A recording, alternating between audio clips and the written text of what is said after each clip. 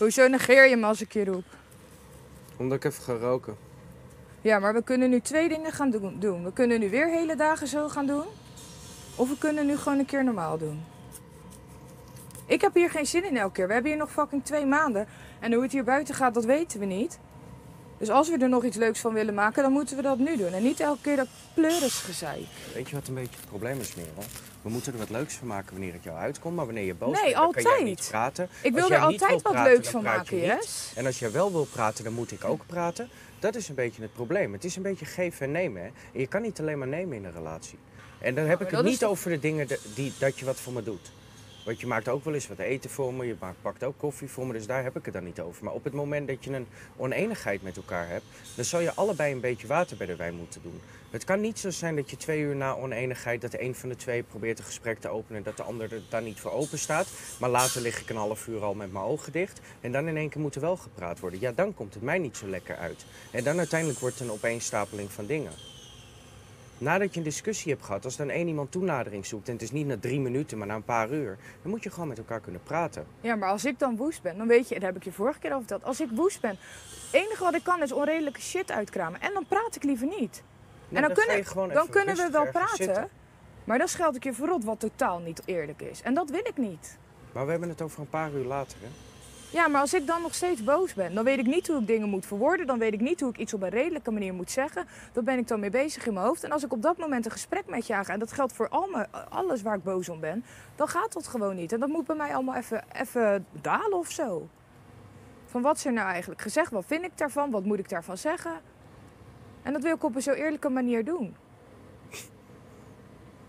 Nou, ik heb met name gewoon het gevoel Maar dat je- het alleen maar kan op het moment dat het jou uitkomt. Nou ja, zo kan dat overkomen. Ja, en dat begrijp ik ook wel. Ja. Maar als ik boos ben, ja, dan valt er, dan valt er geen fatsoenlijk gesprek met me te, te beginnen, Jes. Echt niet. Dat kunnen we dan wat doen, maar dan loopt het alleen maar uit de hand. Ja, dus zit ik weer in de positie waarin ik dan moet gaan wachten totdat het jou wel uitkomt. Ja, dan Ja, je ziet het als uitkomen, ja. Dat, dat, dat, eh, ja. Zo kan je dat ook bekijken, absoluut. Oké, duidelijk. Duidelijk, oké.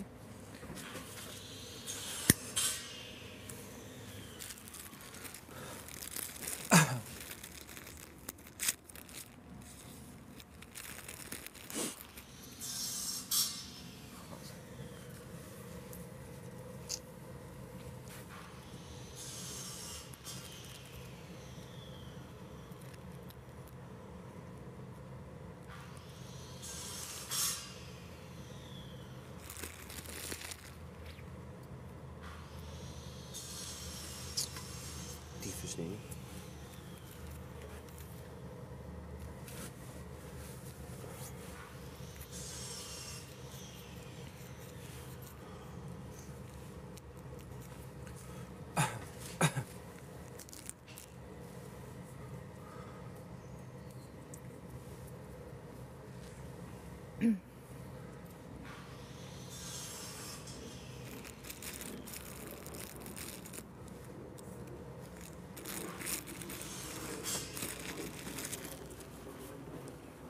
Weet je wat het hele probleem is meer? Op het moment dat, het, dat dingen niet lopen zoals je zelf gewend bent... of zoals je zelf zou willen dat het zal lopen... dan krijg je allemaal van die onredelijke uitspraken. Ja, dan vraag ik me af wat we aan het doen zijn. Ja, maar dat is dan toch ook zo? Nee, maar Want het is altijd het einde van, van, van iets waarbij het niet de twist krijgt zoals jij het graag zou willen. En dan komen er hele onredelijke dingen uit. Ja, altijd. maar dat, En dat is het moment dat het escaleert. ja, maar weet je wat dat is, Jessie? ja. Dat is onmacht. Want het gaat alleen maar elke keer over hoe fout ik het wel niet doe en wat ik allemaal anders moet doen. Maar je mag ook best wel eens een keer naar jezelf kijken. Maar zodra ik daarover begin, word jij boos. Althans, dat gevoel heb ik dan. Dus Als moet ik ik. het gevoel heb dat het niet bij mij vandaan komt, dan vind Ja. ik het inderdaad onredelijk. Want Oké, dan krijg ik allemaal dat- verwijten naar mijn hoofd. Moet je kijken hoe je met je vriendin omgaat, allemaal dat soort dingen. Maar dat is indirect. Als ik vind dat het onterecht is, zet je me er nogal lullig op. Want je hebt het dan over hoe ik jou erop zet. Maar als ik dat onredelijk vind wat jij uitspreekt, dan zijn het nogal heftige uitspraken. Ja, maar dat is dan toch ook van beide kanten. En dan kunnen we wel urenlang gaan praten over eh, hoe ik het anders moet aanpakken. En dat vind ik prima, want dat mag ook zeker gezegd worden. Maar wees dan ook niet te beroerd om naar jezelf te kijken en wat jij dan in bepaalde situaties fout doet. Want nu is het zo dat als ik over dat soort dingen eh, begin, dat jij nog bozer wordt. Ik zou misschien anders op dingen kunnen reageren. Maar de manier waarop jij het overbrengt is alsof je altijd alles goed doet. Maar dat is toch niet zo? Dat weet je toch ook? Nou, je bent er nog steeds niet mee eens dat je er anders mee om had kunnen gaan, toch? Ik heb op dat moment mijn punt gemaakt, zo duidelijk mogelijk. En het enige wat ik wil, Maar wilde... snap jij wel wat, ik, eh, wat me daar dwars zit bij je uitspraak, of niet? Je vindt me ondankbaar. Maar snap je waar dat vandaan komt? Mm, Nee, ja, nee. Niet. Nee, ik heb het misschien iets botter gezegd dan dat ik heb bedoeld. Maar mijn boodschap is, is hetzelfde. Nee, je boodschap is helemaal niet hetzelfde. Oh, nou, dan doen we er niks meer mee. Eh, we kunnen het ook prima zelf. Is heel wat anders dan, oh, dat is niet de bedoeling. En we moeten vooral niet hebben dat het jullie dwars zit. Ja, maar dat dus ik neem wel eventjes contact op om te zorgen dat dit in de toekomst niet meer voorkomt. Tuurlijk, maar dat is toch van, ja, stap dan trekken we ons handen ervan af en dan uh, we kunnen het ook wel zelf. Ja, dat Als, als mijn droom in handen ligt van zo'n persoon, Nee, maar daar heb ik het nu niet over. Snap Ja, je wel. wat je eigenlijk gezegd hebt en hoe je het ook had kunnen zeggen? hoe ik het ook had kunnen zeggen, ja, tuurlijk, er waren duizenden manieren, maar op dat moment kies ik voor zo'n manier. Ik schrik daar dan van. En ik wil absoluut niks te maken hebben met een of andere zakelijke relatiescheurtjes. Nee, zo snap ik dat je het zo kan verwoorden nu. Ja. En de intentie zal ook wel goed zijn, maar de uitspraak is toch kut? Nou, dan is de uitspraak kut. Maar het gaat om de boodschap. En uiteindelijk begrijpt iedereen de boodschap. En misschien is de manier van communiceren waardeloos. Dat geloof ik best. Na uitleg snappen mensen de boodschap. Eh, aan wie heb ik het uitgelegd dan? Nou, later heb je het toch uitgelegd, of niet? Aan jou. Iedereen reageerde toch hetzelfde? Ger had toch ook zoiets van, wat de fuck, waarom reageer je nou zo drastisch? Ja, maar andere mensen snapten het toch wel? Ja, dan snappen alleen Ger en ik het niet. Hoezo? Ger snapt het toch ook? In het begin niet, toen je die uitspraak deed? Nou ja, en uiteindelijk wel, maar ik heb het toch niet uitgelegd. Ah, trouwens, het maakt ook helemaal geen reet uit. Ja, yes, ik had het op duizend andere manieren kunnen zeggen. Dat klopt. Weet je wat het is meer? Ik irriteer me gewoon helemaal mateloos aan die drastische uitspraken. Hm. Het is altijd drastisch en er moet er altijd weer uitleg gaan, eh, achteraf gaan. En, en, dan, en dan is het weer anders bedoeld en dan kwam het weer rottig je strot uit. Maar je kan ook gewoon even een beetje opletten hoe je dingen uitspreekt. Ja, dat zou inderdaad kunnen.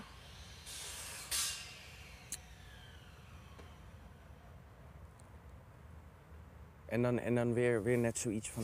En dan vraag ik me af wat we aan het doen zijn. Ja, maar wat En- en zijn we aan ik het doen? bevestigen. Nee, maar denk, denk daar nou eens over na. Wat zijn we aan het doen dan? Je hebt hier nog zeven weken.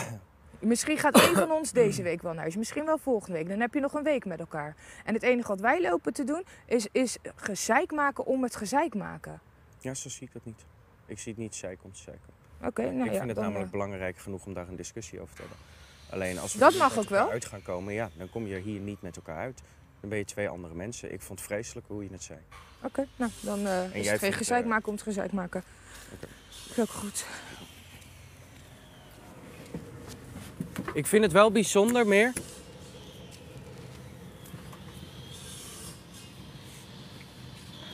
Ik vind het wel bijzonder dat je mij verwijt dat ik wegloop en dan, en dan loop je... Ja, maar Yes, kijk, we kunnen hier nu gezeik gaan maken om het gezeik maken. Het enige wat ik wil is dat we het verdomme leuk hebben. En natuurlijk mogen we discussies hebben, maar ik wil gewoon dat het kap dat we elkaar lopen af te vallen waar iedereen bij is. Ik Ja, wil dat daar- gewoon niet daar, hebben. Dat, dat, dat zet jij net voort, hè?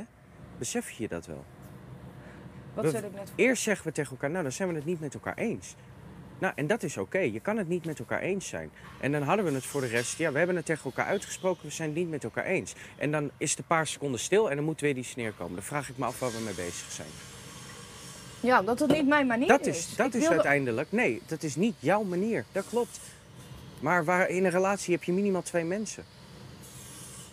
En als we het niet met elkaar eens zijn, ja, dan zijn we het niet met elkaar eens. Maar om dan uiteindelijk na een paar seconden stilte, nadat het eigenlijk ja, niet perfect is, maar ja, eh, je bent het niet met elkaar eens, nou dat kan gebeuren. Om dan weer te zeggen, dan vraag ik me af waar we mee bezig zijn. Dan zet je gewoon weer de elle- ellende voort, eigenhandig. Ja, dat maar hebben er komt toch ook geen conclusie uit van oké, we zijn niet met elkaar eens, maar het is goed zo. Nou, Jouw hou- hele houding verandert. Dan zijn we het niet met elkaar eens. Ja, en nadat je dan dat soort dingen gaat zeggen, ja, dan denk je, ja, wat de fuck ben je nou weer aan het doen? Dat zijn weer die drastische dingen. Elke keer moet last minute. We hebben het in bed ook duizend keer gehad. Dan is het een minuut of vijf stil. En dan in één keer komt er weer een rare uitspraak. Ja, omdat ik, ik wil dan... Ik, om, dat is denk ik onmacht. Omdat ik dan gewoon zo'n situatie niet wil. En dan probeer ik een gesprek aan te gaan. En dan, dan kom jij weer met een of andere uitsmijter. Ik denk van, nou ja, oké, het zal wel. Maar dan komen we er niet uit. Maar dat wil ik dan wel. Want wat ik zeg, ik heb geen zin in gezeik. En helemaal niet over dat soort dingen. Dus de strekking in dit soort situaties is, is dat jij graag wil dat het goed komt. Maar dan kom ik met een rare uitspraak en is niet Nee, je luistert helemaal niet. Ik zeg toch dat het onmacht is? Ik wil er dan graag uitkomen, Ja. maar we komen er dan voor mijn gevoel niet uit. Ja, dat kan ook. Zo merk ik het ook, dat we er meestal niet uitkomen samen. Nou, daar, dat vind ik dan gewoon helemaal kut. Ja, dus moet er dan erger gemaakt worden door dat soort uitspraken. Eh waarom. Is onnodig? Ja, dat is misschien onnodig. Maar ja, ik vraag me dan wel af, want waar zijn we dan mee bezig? We komen er niet uit, maar we doen er ook niks aan om het wel weer eh, goed te krijgen. Dan gaan we het allebei Ja, we verslechteren. zijn er gewoon anders in. Jij vindt dat je genoeg hebt aan